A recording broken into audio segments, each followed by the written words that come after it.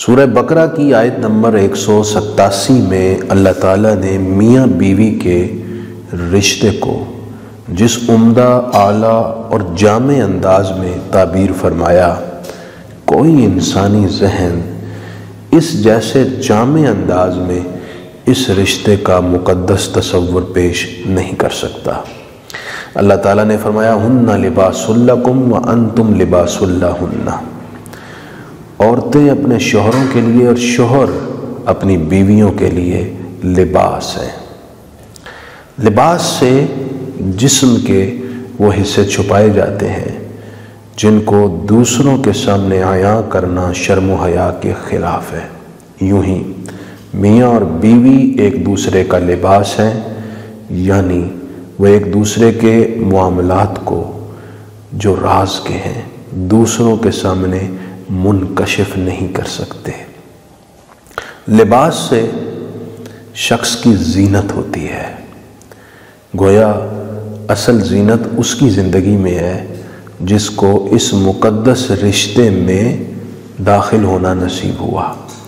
جو اس رشتے سے محروم ہے، وہ ہزارہ پروڈکٹس زیب و زینت کی یوز کر لے۔ اصل جو حسن و جمال زندگی ہے اس سے وہ محروم ہے۔ لباس وہ زینت ہوتا ہے جو قد کے مطابق ہو۔ جو قد سے بڑا ہے یا قد سے چھوٹا ہے یا بہت کھلا ہے یا بہت تنگ ہے، وہ زیب و زینت نہیں ہوتا، وہ بدنما ہوتا ہے۔ یوں ہی میاں بیوی ایک دوسرے کا لباس ہے یہ تب لباس زیب و زینت اور جمال بنے گا جب دونوں ایک دوسرے کے مزاج کو سمجھنے کی کوشش کریں، ایک دوسرے کی سوچ اور خیال اور فیلنگز کو محسوس کر کے اس کے مطابق ایک دوسرے سے سلوک کریں۔ تب یہ زندگی جمال اور حسن اور زینت رہے گی، وگرنہ یہ بدنما داغ میں تبدیل ہو سکتی ہے۔ لباس موسمی اثرات سے بھی بچاتا ہے، گرمیوں میں گرمی سے، سردیوں میں سردی سے۔ یوں ہی میاں بیوی جب ایک دوسرے کا لباس ہے، شوہر اگر گرمی یعنی غصے میں ہے، تو بیوی لباس ہے۔ وہ اس گرمی کو معتدل رویے اور برداشت کے ساتھ ٹھنڈک میں بدل دے گی۔ اور اگر بیوی غصے اور جلال میں ہے، تو شوہر اپنے معتدل رویے اور حسن سلوک اور برداشت کے ساتھ اس کو ٹھنڈک میں تبدیل کر دے گا۔ یہ بڑا مقدس رشتہ ہے۔ اگر کوئی اس آیت کے تناظر میں میاں اور بیوی ایک دوسرے کا لباس بن کر زندگی گزاریں تو اتنی دل فریب اور دلکش عمدہ زندگی گزرے گی، جس کے بیان کے لیے ماڈرن کلچر کے پاس کوئی تصور بھی نہیں ہے، جو قرآن نے تصور پیش کر دیا ہے۔ جب ایک دوسرے کا لباس بن جائیں تو پھر حال کچھ اس طرح ہوگا جو سیدنا علی مرتضی شیر خدا کا تھا۔ سیدہ فاطمہ زہرہ کے وصال کے بعد بھی انہیں کبھی بھول نہ سکے۔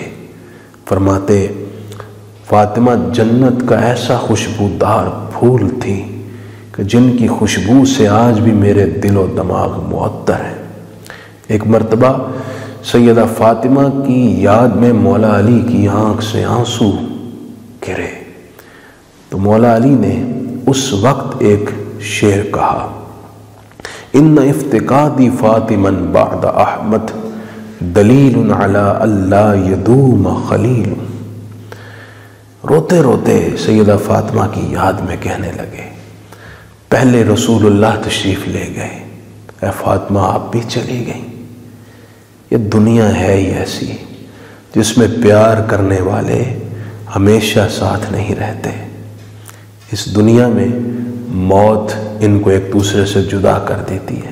یہ کہہ کر مولا علی دیر تک روتے رہے سیدہ فاطمہ کی یاد میں۔ اور سیدہ فاطمہ کیسے لباس بنی مولا علی کا؟ علامہ اقبال نے اس کی خوب تعبیر کی۔ فرمانے لگے کہ نوری و ہم آتشی فرما برش۔ گم رضائش در رضائے شوہرش کہ جنات اور ملائکہ سیدہ فاطمہ کی فرما برداری میں آپ کی رضا کے لیے خدمت میں رہتے کہ سیدہ ہم سے راضی ہو جائیں اور سیدہ پاک خود مولا علی کی رضا کی تلاش میں رہتی کہ مولا علی مجھ سے راضی رہیں، خوش رہیں۔ میں وہ کام کروں جس سے میرے شوہر راضی رہیں۔ تو سیدہ پاک کا سید علی مرتضیٰ کے حوالے سے یہ جذبات تھے۔ کاش آج اگر ہماری بیٹیاں اور ہمارے بھائی جو میاں بیوی کے مقدس رشتے میں بندھتے ہیں، وہ اگر قرآن تصور کو سمجھ کر ایک دوسرے کا لباس بنے اور اس لباس کی عملی شکل دیکھنی ہو، تو رسول اللہ کا اپنے ازواج سے، ازواج متحرات کا رسول اللہ سے اور خصوصاً مولا علی اور سیدہ پاک کے مقدس رشتے کو دیکھیں، اس کو پڑھیں۔ اقبال نے اسی لیے کہا تھا کہ مادرہ را اسوائی کامل بطول ایک میں درخواست یہ بھی کرنا چاہتا ہوں، جو علامہ اقبال نے آج سے پہلے کر دی تھی۔ وہ کہتے ہیں، بطول باشو پنہا شو عزی عصر۔ اے دور حاضر کے بیٹی، تو بطول بن جا۔ اور اپنے آپ کو ماڈرن کلچر کی نگاہوں سے چھپا لے۔ میری مراد سمجھ گئی ہوں گی، میری بہنیں، یہ ٹک ٹاک بہت بڑی آفت ہے۔ اپنے حیا کی حفاظت کریں۔